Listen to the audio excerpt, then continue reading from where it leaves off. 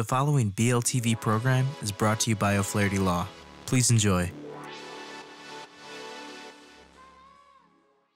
Welcome to Learn About Law. My name is Kevin O'Flaherty from O'Flaherty Law, and today we're going to answer the question What happens if co trustees disagree in Illinois?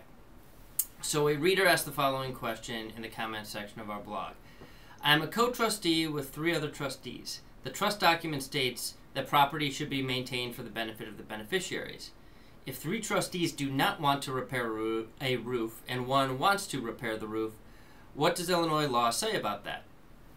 So we basically have a situation where one trustee wants to repair a property, three don't, and we have a disagreement. Let's first talk about, before we answer that, what the pros and cons of having multiple trustees for your trust are. The trustee is the person responsible for acting for the benefit of the beneficiaries according to the terms of the trust. Uh, and they have to do a lot of things. They may have to open up bank accounts, they may have to transfer property, sell property, distribute property to beneficiaries, manage investments. Uh, so the advantage of having multiple trustees is that they place a check and balance on one another, kind of like the three branches of government.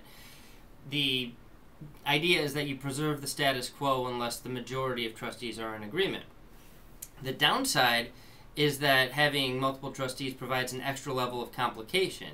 Trustees often have to be in the same place uh, to do things like open bank accounts or engage in real estate transactions. And the more trustees you have, the more difficult this is.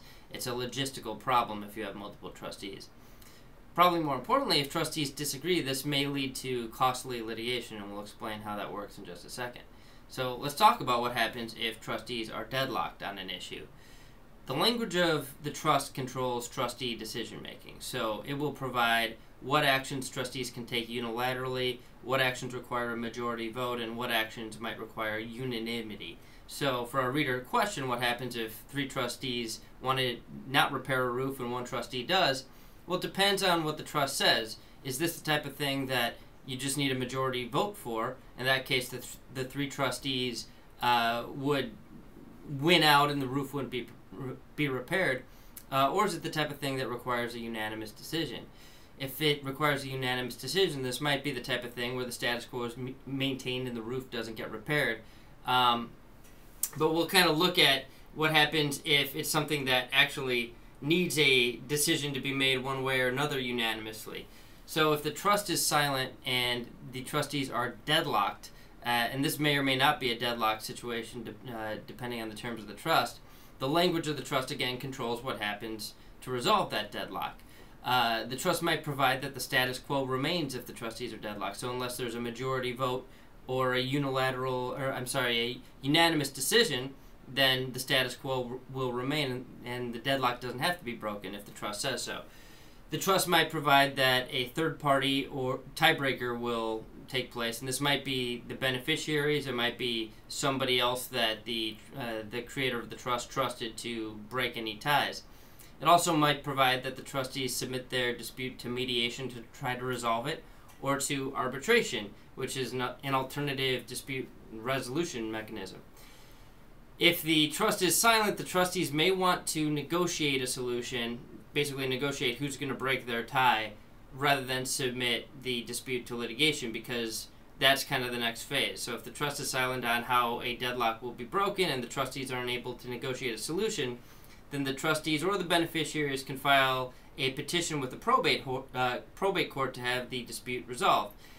There will be an evidentiary hearing at which both sides of the dispute can provide evidence and arguments as to why they what they want to do is in the best interest of the beneficiaries uh, according to the terms of the trust. The court will resolve the issue if a decision decision would be necessary to effectuate the terms of the trust. And generally, the court will go with whatever action is most beneficial to the beneficiaries uh, and also comports with what the grantor of the trust, the trust creator, intended for the trust. So it's not just what's beneficial for the beneficiaries, but it's what the grantor's intent was in creating the trust as well. And the court will decide the issue on based on that standard if a trustee is no longer fulfilling his or her fiduciary duty to act for the benefit of the beneficiaries according to the trust, then the other trustees or the beneficiaries can file a petition to have him or her removed as trustee and replaced uh, with somebody else.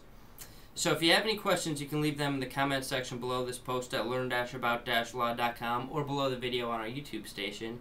If you found this helpful, please subscribe to us on YouTube, SoundCloud, or Apple Podcasts, or wherever you uh, listen to your podcasts or watch your videos.